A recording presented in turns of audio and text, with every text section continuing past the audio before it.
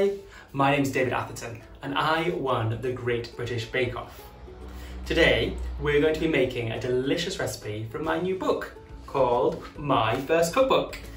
This has been beautifully illustrated by one of my best friends, Rachel Stubbs. I still remember my first cookbook. I used to take it in turns to choose a recipe with my twin brother, and still today I get excited about doing new food. My book is full of loads of great food that you can do together. It's split into four sections and it covers breakfast, lunches, dinners, and loads of tasty treats and snacks. I hope this book inspires you to tie on your apron, dance around the kitchen a bit, and make some amazing food. Today, we're going to be making two-tone lollies. It's very simple, it just uses lots of fruit. And it's from the delicious treats section of my book. It's a hot day today, so I'm looking forward to trying these. Uh, so let's get started.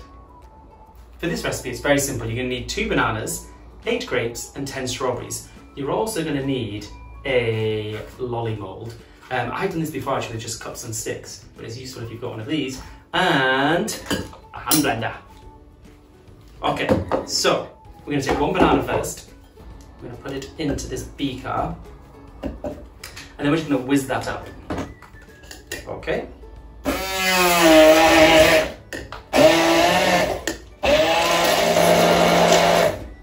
Nice and smooth now. So now I'm just going to put this into the lolly molds.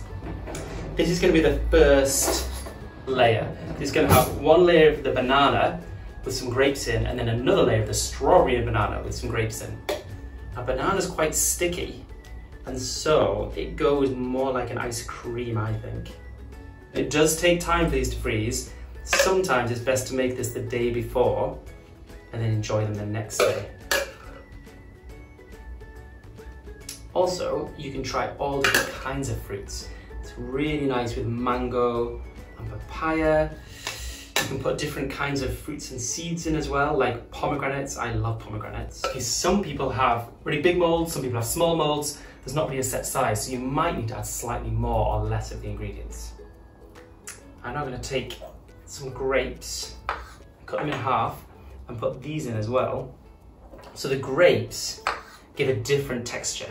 These kind of go more like a sorbet when they freeze. These are going to go into the freezer for one hour. Okay, let's get the first ones out of the freezer. Okay. So the next stage is to do the strawberry banana layer. So we're gonna get the blender again. I love using blenders. And we put the second banana in. So easy. All the strawberries.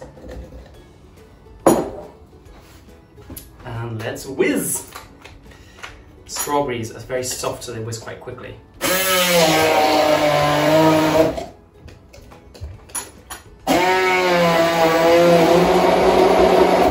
Done. Now for these ones, I think I'm gonna be able to pour it in. Now you don't want to pour it right up to the top because you're gonna be pushing the grapes in. You can see the two colours, can't you? Blueberries would work really well with this because it would go really purple and blue. Put the grapes in, that's okay, and that's basically it. Now it will depend, like I said before, on how big your lolly molds are. Here you've got some extra smoothie to drink. Mine fit in like this and have a little lid. I'm just gonna put those on. Okay, I'm gonna put these in the freezer now for at least three hours. Actually, I often make them the day before and then can have them the next day. So let's go freeze. This is what I've been looking forward to. So these are nicely frozen now. We just put them in a bit of warm water. Come out nicely. Ooh. Mmm, mmm, mmm. Okay, I think I'm gonna have all four of these because it's been a very hot day and this is delicious. I hope you've enjoyed making these two-tone lollies with me today. Uh, for more great recipes, then please buy my new book.